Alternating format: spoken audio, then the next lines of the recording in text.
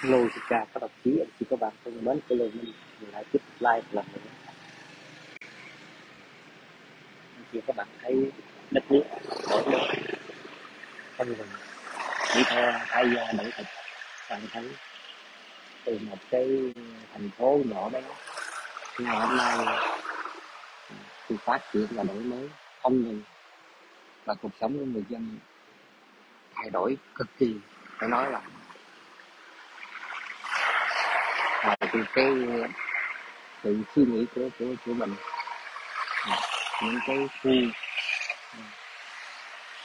rồi từng khi mại và những cái khi là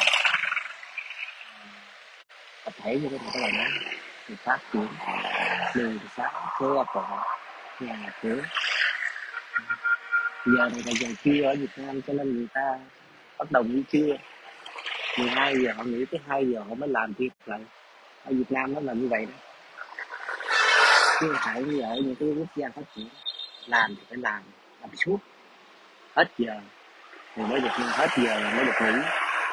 Một ngày làm 8 tiếng thì nghỉ. Có cái thời gian cố định, chứ không phải giống như kiểu Việt Nam.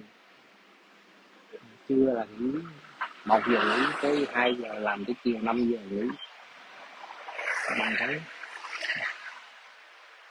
cái ờ, uh, Vincom Plaza này. Cũng phạm tập đoàn Phạm Thị Trường các bạn. Mới về xây dựng lên đây cũng khoảng tôi nghĩ cũng khoảng 3 năm rồi các bạn. Ngày hôm nay thành rất là của đông đúc tại bên cái bộ mặt xã hội. Một cái đô thị rất là hoành tráng. Nói chơi giờ nhiều người ham mê đi ra nước ngoài chứ. Đi ra rồi mới thấy. Mới thấy cái sự thật nó không phải nó không như tất cả cái gì mà cái, cái tổ chức ờ, uh, chống cộng hay là từ đó tuyên truyền. Nó hoàn toàn hoàn toàn đi ngược lại 360 độ có tiền biết làm ăn lo cái cuộc sống của mình ở đâu có cơ hội để làm được thì cái quốc gia như tỷ bây giờ chăm bề vất vả và lo toan. Cơm áo gạo tiền cuộc sống hy sinh. Không đơn giản là quý vị tôi nói. Ai muốn đi thì cứ đi phải không? Nhưng mà cái đó là cái sự tại vì con người, cái cái cái nhu cầu hạnh phúc của mỗi người nó khác. Thì tôi chỉ chia sẻ theo cái kinh nghiệm bản thân mình